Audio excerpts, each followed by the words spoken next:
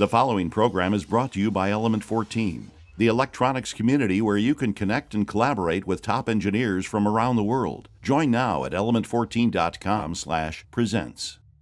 Hello, I'm David, and welcome to the Electronics Inside, the show where we tear down toys, tools, and appliances just to find out what's inside. Today, I'm going to be tearing down design classic, the Apple iMac G3. I'm sure everybody will recognise this bit of equipment. The Apple iMac G3 was a, a, big game changer in the late 90s, originally released in 1999. It had a big impact on the 90s beige computers, which were clunky and had a lot of cables all over the place. This all-in-one form factor really made an impact on the consumer market.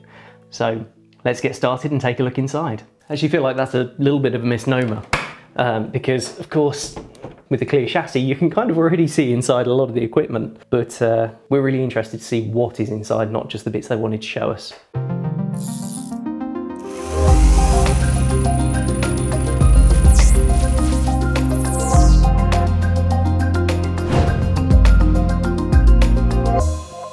So first thing on the bottom is this little expansion port. Now in here, got DIMM, dual, in, dual inline memory module. So this is the sort of only real upgradable part. And yeah, this is uh, 128 meg, I think I've seen. And interestingly enough, inside the port, I can just make out another expansion port. Now, the hint to what that does is this little cable.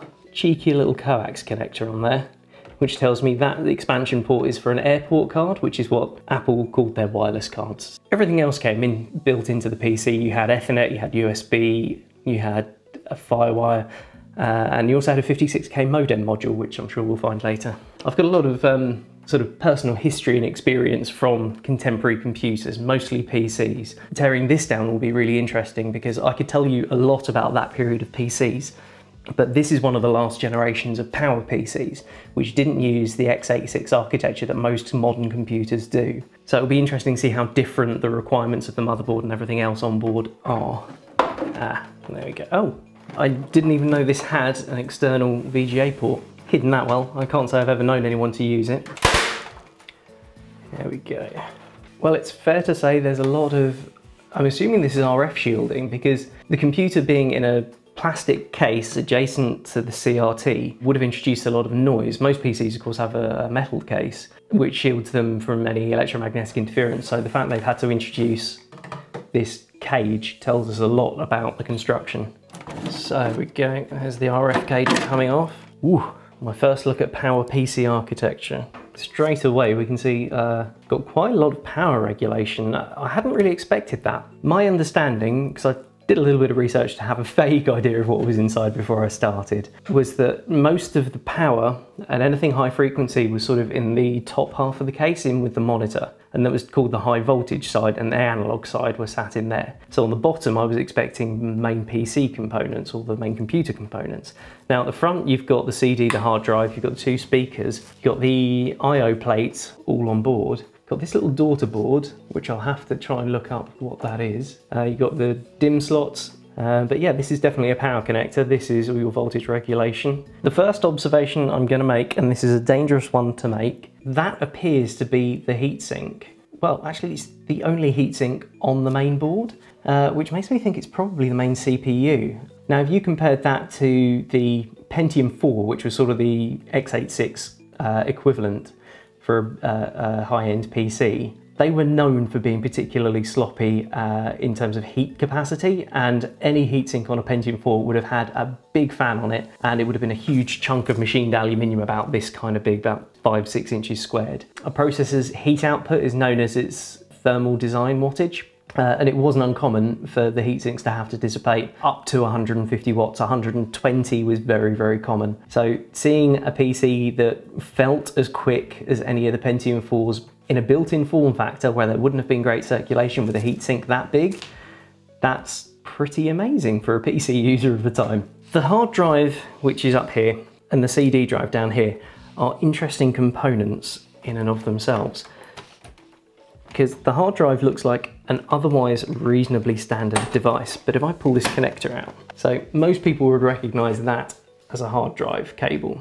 But if you compare that to the main connection onto the motherboard and the CD drive, they're enormous. This is because Macs at the time used SCSI as an interface instead of IDE. A little bit sort of redundant now as everything uses serial ATA normally. Uh, but the, the IDE was the standard across x86 PCs. You could get SCSI cards, and typically you saw them in servers, because you could get ribbons which would connect up to eight hard drives that could be addressed to a single bus. Uh, that was particularly useful when you were trying to do RAID arrays uh, on server storage. Anybody used to modern uh, storage speeds, uh, especially uh, solid state storage, would use something like this and be staggered at how slow it is. And also that spin up noise when you first turn it on and when I tested, tested this before we tore it down, I, I found the, the noises of it starting up and the buzz of the monitor incredibly nostalgic.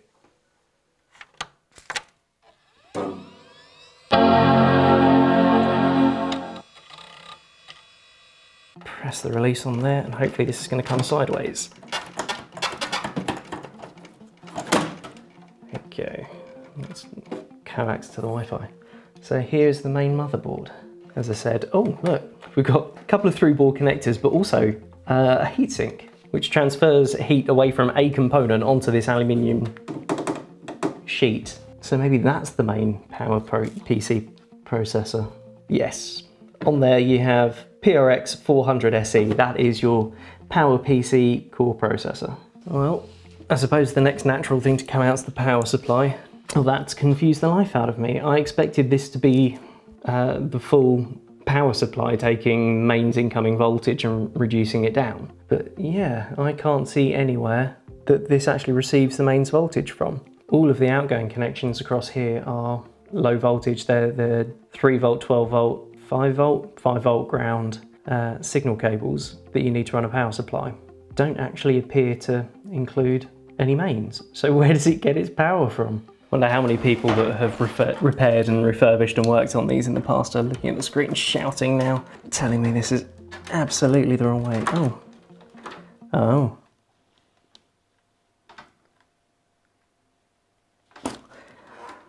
That's torn it.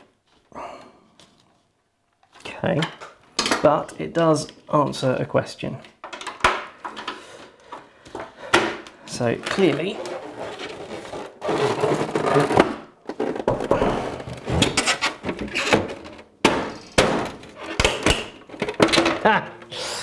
All right, yeah, unfortunately I did do a little bit of damage to this bit down here um, to discover that actually these plastics have to shift down and back. You live and learn, I know for next time. CRT monitors or cathode ray tube monitors, they use a stream of electrons to display the image on a phosphor screen. By their very nature, they end up working like a very big capacitor, firing all the electrons to one side. They build up very large charges. Most modern CRT monitors have a bleed resistor, which means they discharge naturally over a reasonably quick period of time. Do not ever assume it's going to be safe to touch one. There are precautions you can take. Until I've removed the anode and successfully made sure everything is discharged, I'm going to be wearing 1000 volt insulating gloves. These are proper electrical gloves, they are not my washing up gloves. They will make sure that I don't do anything stupid and end up putting a big voltage across my heart. I know what you're thinking, and I know it looks silly, but I'd rather look silly wearing these than I would be getting an electric shock. Under this nice big rubber cup is the anode connection. So all you have to do is make sure that's grounded out, touch it, make sure that's discharged, and disconnect it. There we go. Should be safe now. Just in case anyone's interested, on the inside of this cup, there's just a little spring-loaded connector that fits in to the hole on the screen. Most of that CRT is loose apart from two connections and I can't see anywhere to disconnect them on the main board side. I think these must be. There's one. There we go. Wow, that was a wrestle. Getting very close to the end now. wow. That capacitor does not look happy at all. You can see the size of the bulge on there. That's a 470 microfarad capacitor. Not looking very happy at all.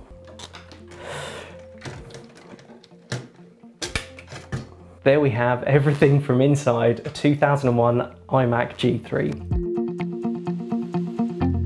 The iMac was clearly not built for speed of assembly or repairability, there are dozens and dozens and dozens of screws. And if you compare this to a contemporary ATX P, uh, PC, I would comfortably say there are probably four times the amount of screws, but the form factor, the size, the, the compact nature of it, and it is engineered to the nth degree. Everything is exactly where it needs to be.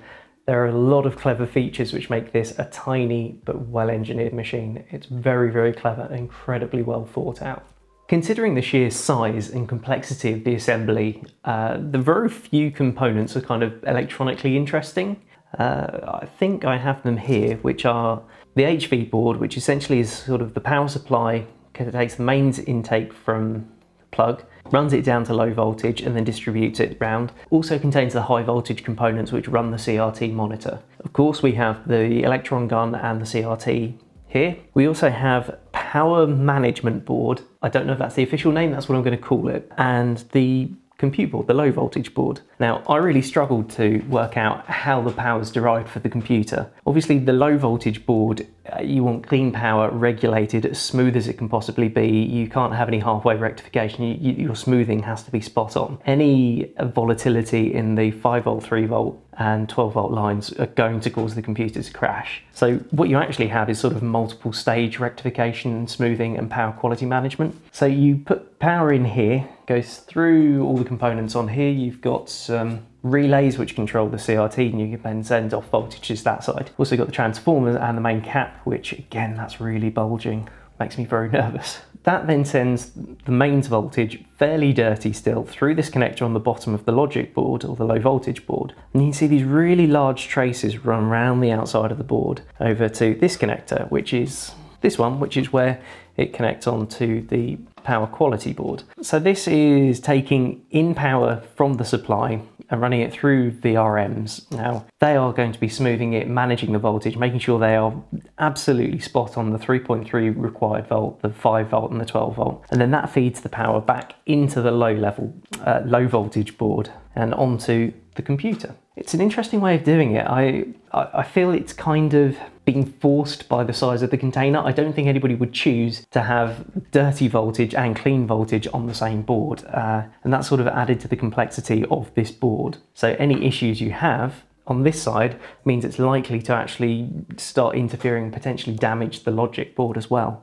Uh, I see that as kind of a weakness in the design decision making. Otherwise, this is uh, a very simple power supply. There's lots like it. It's DC to DC power quality in conversion. One final thing on the high voltage side I just wanted to mention is some of the audio amplification actually comes from the HV board. Now that might not seem obvious, the speakers are driven from the logic board when it's turned on. But as soon as you press the power button and start the boot sequence, you get that distinctive Apple chime sound. That has to be derived from this board. So this board has some basic sound equipment, the incoming power supply, the CRT power supply, um, audio amplification. Yeah, there's a lot going on for a, a, an analog HV board. And finally, we have the Power PC board. They've got a lot squeezed into a very small form factor and you sort of see this happen again and again especially with the iMacs the all-in-one form factors where they've started to use fairly repeatable laptop components to try and squeeze everything into the back of those chic aluminium PCs. Um, I don't think anything on here really qualifies as that but it's certainly a very, very squeezed mainboard. Now, I was just going to pop this little daughter board off, see if we can work out exactly what it does.